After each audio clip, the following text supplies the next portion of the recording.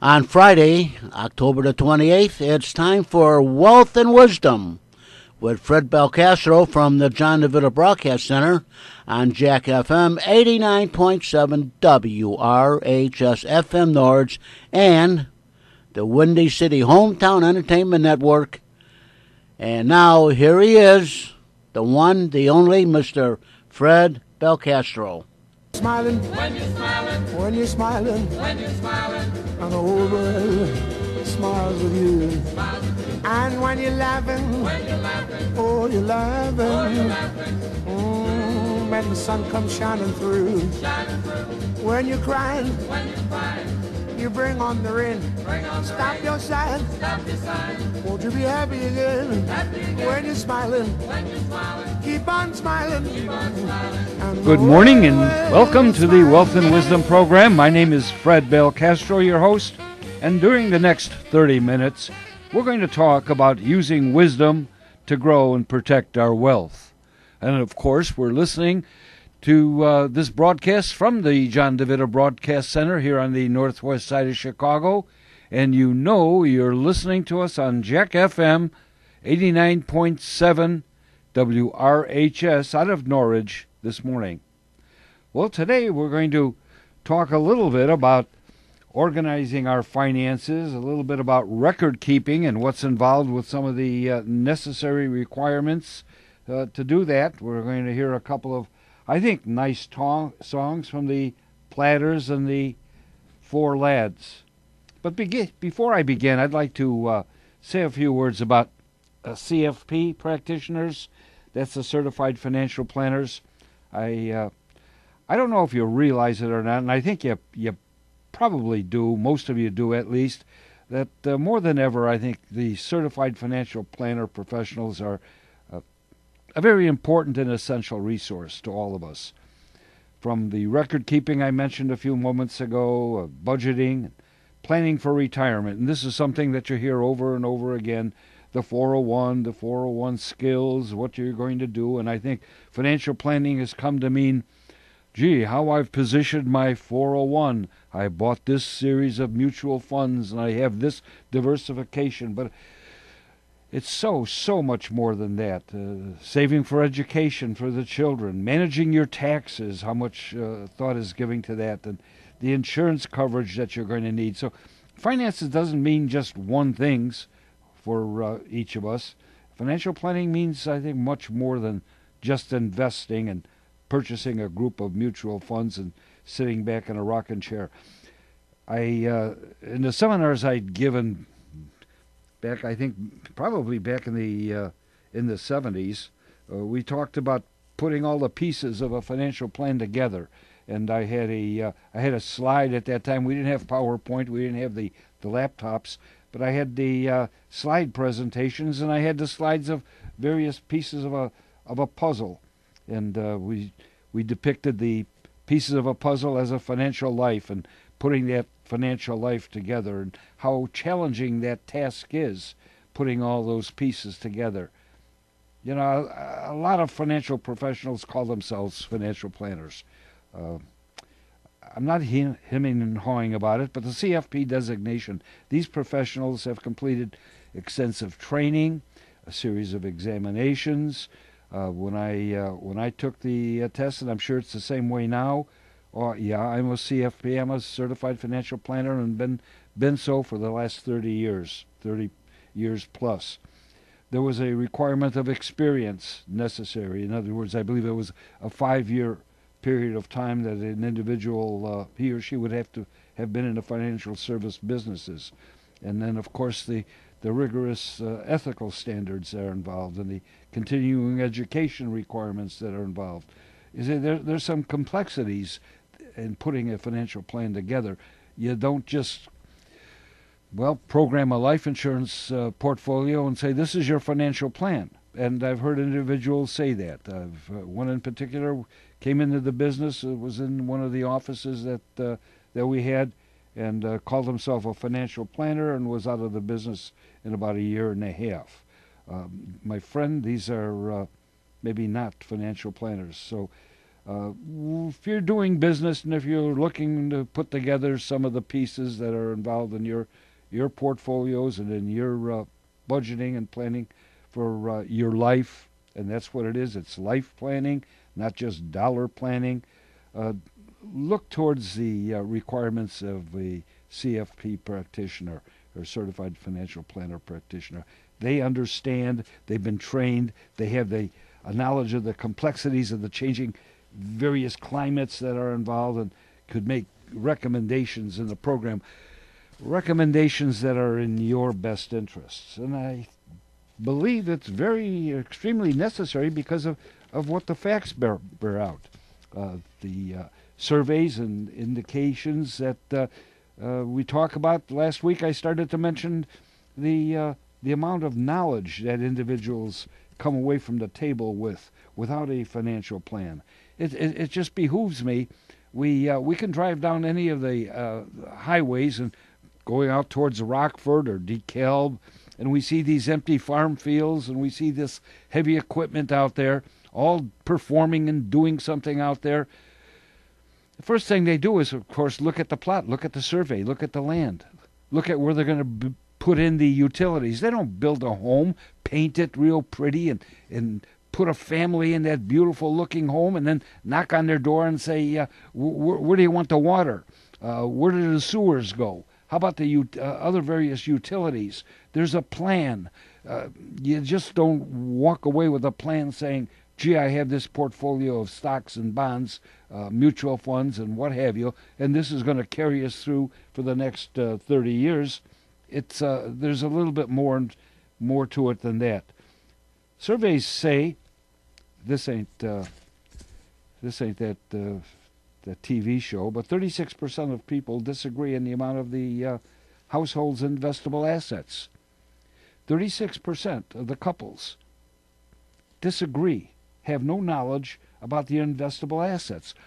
What's your what net worth? Well, if you had a financial plan, you'd you'd know what your net worth is because it, you would have what's called a net worth statement, just like your business does, just like any accountant would lay out for a company or for a business. When asked how much they'll need to save to maintain their current lifestyle retirement, nearly half, or 48%, have no idea. And a big portion of that, 47%, are in disagreement about the amount that they need level of disagreement is highest among those that are even closest to the re, uh, age of retirement. So th- this is something that's uh, not out of the blue. Uh, this is something that you sit down and, and talk to your spouses about. Talk to these your significant un, uh, other uh, about. 60% uh, of couples, almost half, or 50% of them, of the boomers say that they have no idea how much their Social Security will be be worth. We've uh, we've gone through the Social Security maybe about a year ago and talking about the necessity and how important it is to discover. a couple of weeks ago we talked about the annuities, and uh, you don't make too many plans until you find out what you already have. You don't start building those homes or laying those sewer pipes. You've got to do a soil test. How would you like to be putting in pipes and homes on a swamp? Well, does it make any sense? We could look and say, "What's this guy talking about? He's out of his mind." You know, you don't do things like that, and yet that's what we do when we uh, when we don't plan. We'll we'll put that shiny new home or that shiny new 401k, and we're all set with this and that, uh, without having a, a soil test. We don't we don't know where our next dollars are coming from, other than what we withdraw. And when we withdraw, one of the one of the uh, one of the problems I I believe, is, is re- withdrawing too much money too fast in the uh, early retirement years. But we'll get into that uh, a little bit later. Goes on to say these surveys say that couples aren't even on the same page when it comes to describing their, their lifestyles. The soft side. This is an area in which I've I've come very very familiar with uh, when I'm called into these these uh, these places, these businesses or or homes that have done not much or very little planning. Uh, nobody's on the safe, same page. Spouses and partners aren't fully aware of all the transactions uh, and everything that they should be aware of and, and uh, have knowledge of. It's uh, very confusing, very bewildering, and it costs them a great deal of time, money, emotional expense. And two, uh, when it comes to just individual couples, where are you going to live? You're going to live in the same house, or are you going to move down to Arkansas? I had a had a uh, very good client decide, no, no, we're we're moving down to Arkansas. Moved down to Arkansas, raised in the city all their life, city of Chicago all their life. Moved down to a rural area in Arkansas. Say, hey, we we don't fit. We, we don't like this. It's not what we thought it would be uh, after just vacationing for a, a short time. So there, there's a softer side of retirement planning, is what I'm trying to say. Not just the hard fact and figures that we've been led to believe. Uh, you know, you have this amount of income coming in, you you have this amount of, of coverage on your insurance, you have this in homeowners, and, and so on. The hard facts. Uh, there's also a soft side, where you're going to live, how you're going to feel. Uh, hey, how do you like to have a spouse with you 24/7, instead of just just uh, taking out the chunks of of 40 or 50 or 60 hours a week that you work now? You're going to be with these people, uh, you know, 24 7. So, uh, how about uh, sharing some interests? How about discussing some possibilities along those lines? Uh, one in three disagree with how comfortable lifestyle should be. One in three disagree. Does that mean that maybe uh, my wife and I would disagree? It's uh, quite likely if we hadn't discussed this. these are surprises that you may not want to have at at 70 years of age. You know, we we uh, we don't know about the economy. I heard uh, over this weekend that people are concerned, not knowing which way an, an election is going to uh, going to turn out, and so there, uh, will the economy be strong? Will it not be strong? It, but no matter what it is, it that doesn't lessen the anxiety that people have uh, about the rising costs of the future. And one of the rising costs, uh, something that we discussed in the weeks previous, the the uh, the Medicare. Now, open enrollment, what's going to happen with Obamacare, uh, uh, how should we plan? Nearly three quarters say that they worry about being able to afford the the, the uh, hospitalization costs in retirement. That that's up to seventy percent from seventy percent. So it's gathering momentum in the fact that more and more individuals are starting to realize, conceptualize what these things are, what the involvement, the totally the degree of involvement in their in their uh, family and in their in their planning of their family, if they plan at all. It's as I said about the train coming down the tracks. Remember, uh, it's going to get here. If if uh, if we're fortunate enough to be alive, it's going to come.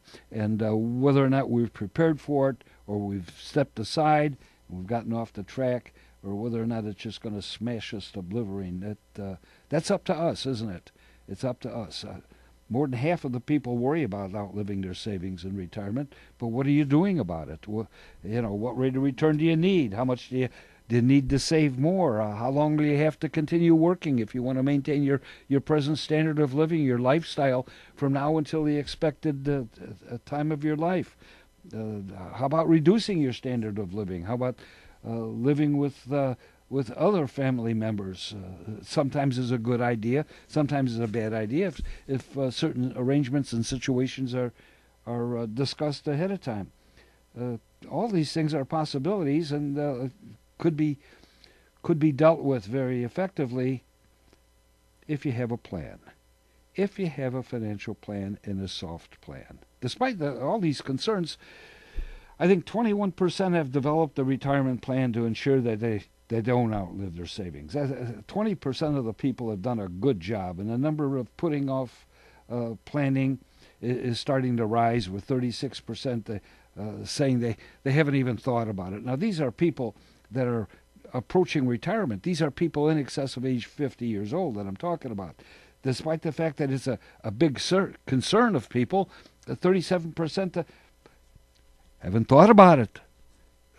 Are you kidding me? You haven't thought about it. We we think about what the kids are going to wear for treating next week and their uh, trick or treat expenses. People are buying their their costumes. Take a look at the stores. I mean, kids are getting excited with their buckets. We've got pumpkins on stairs, and the homes are decorated beautifully for uh, for the season.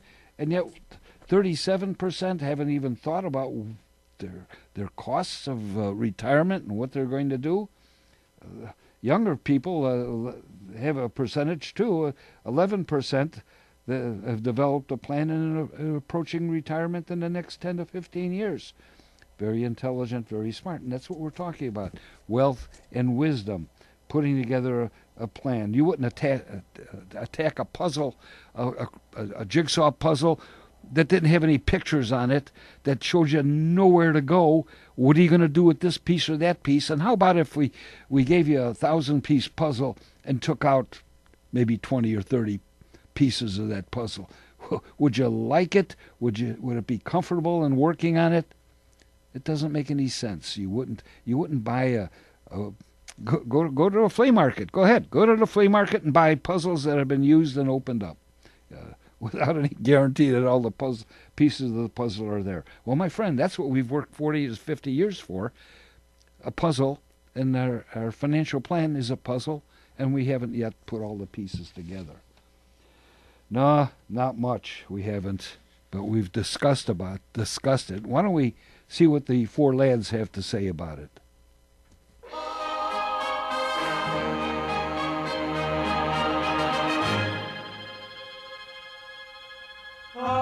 Don't want my arms around you, no, not much.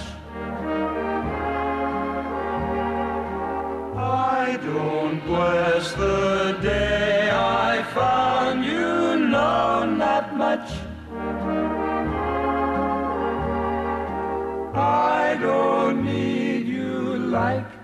the stars don't need the sky. I won't love you longer than the day I die. You don't please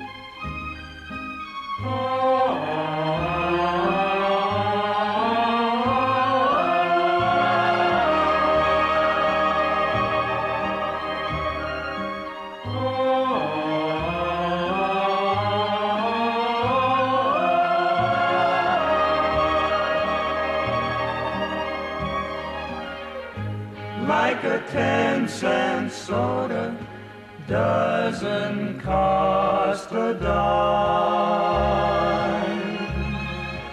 I don't want you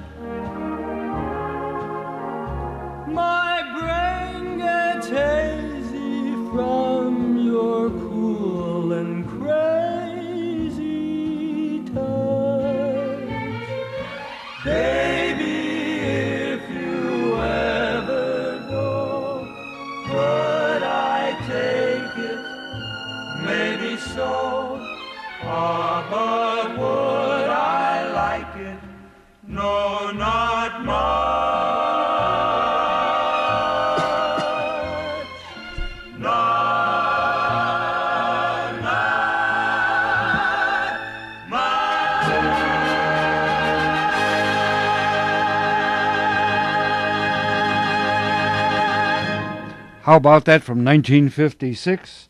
The Four Lads, No Not Much. And as I promised a few moments ago, in a few moments we'll be listening to The Platters, uh, one of our all time favorites. But, you know, it's not, not all dismal.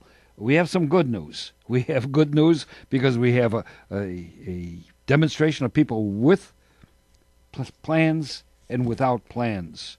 People who have a retirement plan in place, you ready? twice as likely to expect to live a very comfortable retirement. That's 42% with. Without a plan, only about 18% expect to have a, a comfortable retirement day. Come on, get on board, get get on the wagon, like like the new Cub fans, like all the Cub fans fans were uh, were finding that we had all these years. Get on the get on the wagon. How many are more likely to be confident uh, and assume financial responsibility for their retirement? With a plan, 60%, 67%, almost 70% of the people with a plan feel very comfortable about their retirement. Why would you work for 40 years and then wind up uncomfortable, feeling out of control? Remember what we talked about years ago? We talked about to the, the extent that you feel you're in control is your level of comfort. Where you're out of control, you, you're less likely to be comfortable. More likely to be completely confident of your partner's ability to take care of the responsibilities. Now, this is for the ones that are taking the lead in, in the family finances. 63% feel comfortable with a plan, 43% without. Less likely have no idea when it comes to how much we need. How much do you need in retirement? I, don't know.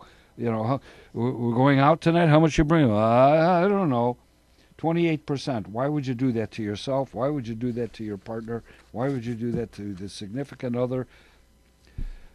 Why do you treat yourself this way? Well, why do you need a financial plan? Uh, financial planning today, I think, takes takes all the, the, the mystery, you know, takes the curtain away from the Wizard of Oz, so Dorothy and the line and and her uh, her friends could take the guesswork out of of managing their finances and helps you understand the the implications and what's involved in each decision that you make. Remember, we spoke about when we talk about putting together financial pieces years ago, we talked about each decision, each financial decision that you make has a bearing on all the others as well.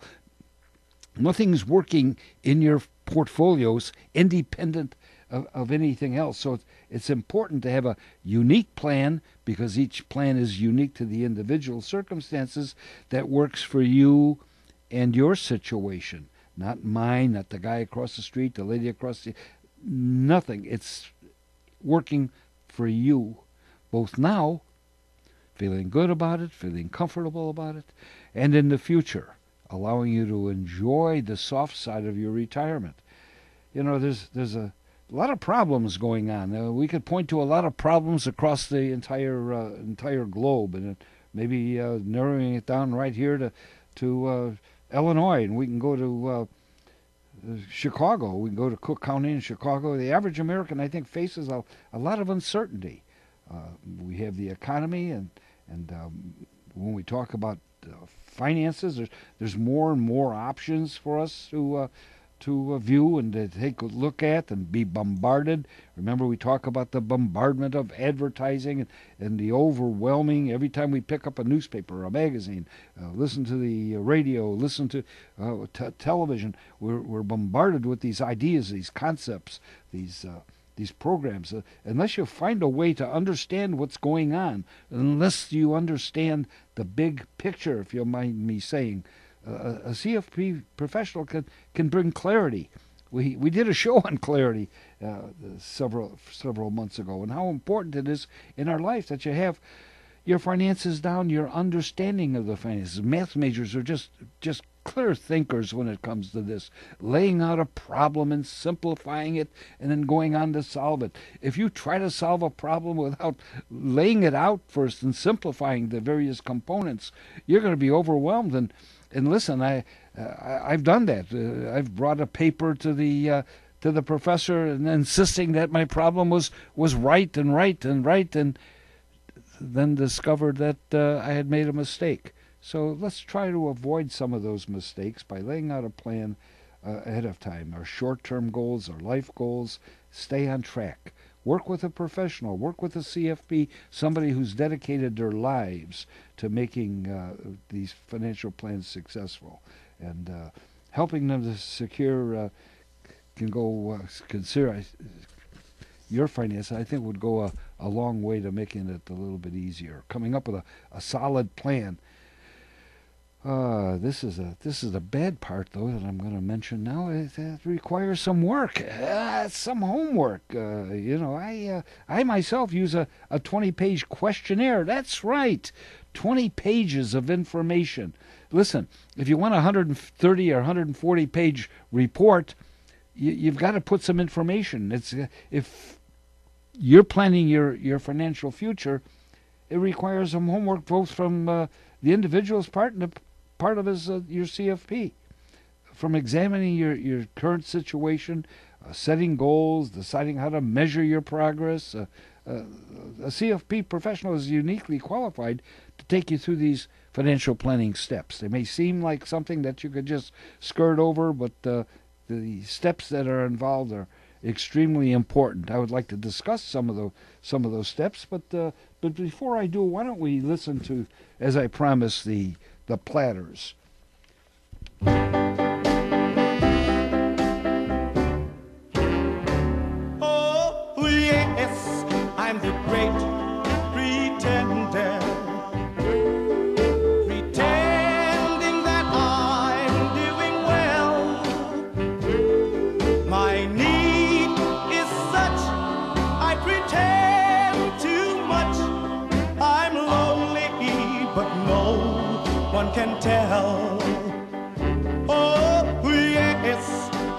Great pretender. Adrift in a world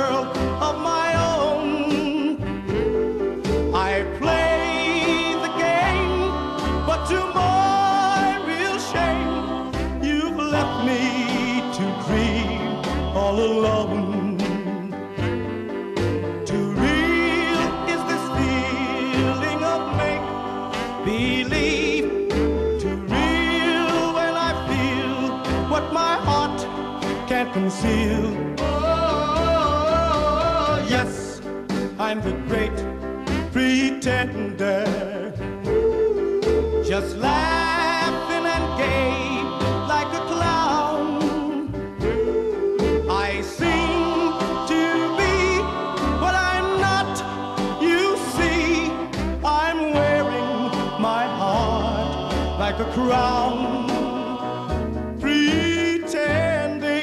you're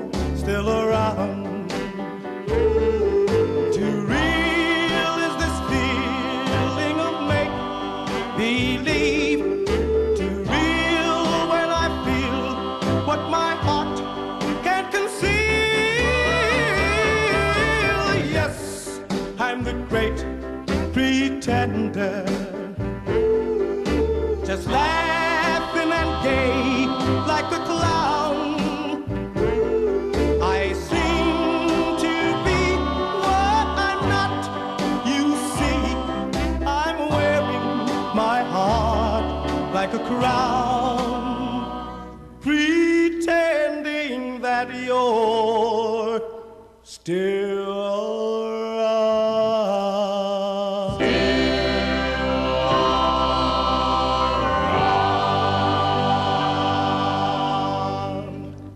That too was 1956, The Great Pretender, by the, of course, the Platters.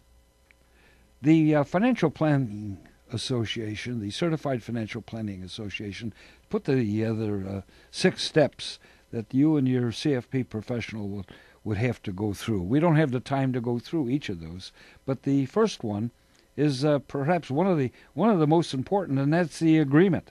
Uh, the agreement on how you're going to proceed, how you're going to work together in the coming months and the coming years. The uh, professional ex- should lay out the services that he's going to provide talk to you about what he's going to do. Define each of your responsibilities because, oh yes, as I mentioned before, there's there's homework involved and there's responsibilities both for you and the individual. He's got to discuss the compensation, how much the uh, the fees are for his uh, for his or her work, and uh, discuss how long the relationship should last. This would be just for one diagnostic plan this is a, a ongoing, uh, how long the relationship is to last, and what you expect of him, and uh, what they he or she may expect of you, the the client as well. So it's not a uh, it's not a simple uh, one one stop shop. Thank you, ma'am, and uh, out the door the individual goes. It's a uh, it's a professional relationship, and of all these services and the costs involved, the uh, compensation that you he'll receive is uh, has to be discussed and put down on uh, on paper. Then, of course, the uh, the homework starts with the gathering of information. We'll go through some of those other steps when time allows uh, next week before we get into uh, what I really enjoy and what my practice really consists of in helping individuals through the uh, the second half of, of their life. And in the meantime, I want to thank you for listening. Let me give you that phone number once again. It's area 630 673 4360 if you'd like to give me a call or if you prefer emailing, it's fbellsecure at aol.com. But uh, give me a call if I'm with a client or at a meeting or not able able to take your call. Leave me a message. I'll return the call. Area 630-673-4360. And in the meantime, put that coat on. Dress those kids warm. It's a, it's a cold and wet day, windy as well. Welcome to Chicagoland. Thanks for listening. Thanks for support of the station. Thanks for all the support of Jack FM 89.7 at uh, at the high school WRHS in Norridge. And thanks again. Talk to you next week and make somebody smile.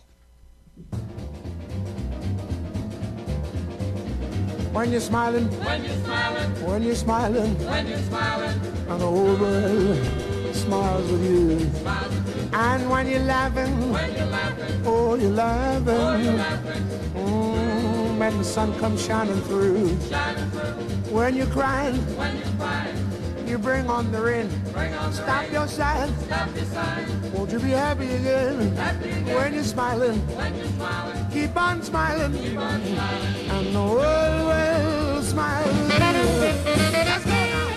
Let's go, Sam. You have been listening to Wealth and Wisdom with Fred Belcastro from the John DiVita Broadcast Center on Jack FM 89.7 WRHS FM Norridge and the Windy City Hometown Entertainment Network on Friday, October the 28th, the year 2016.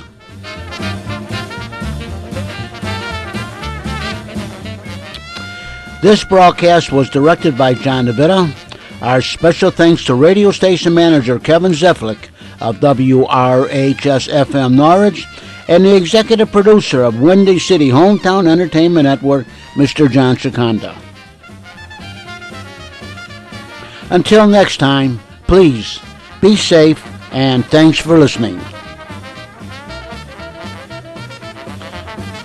Today's broadcast was pre-recorded on Wednesday, October the 26th, the year 2016. Have a great day, everyone.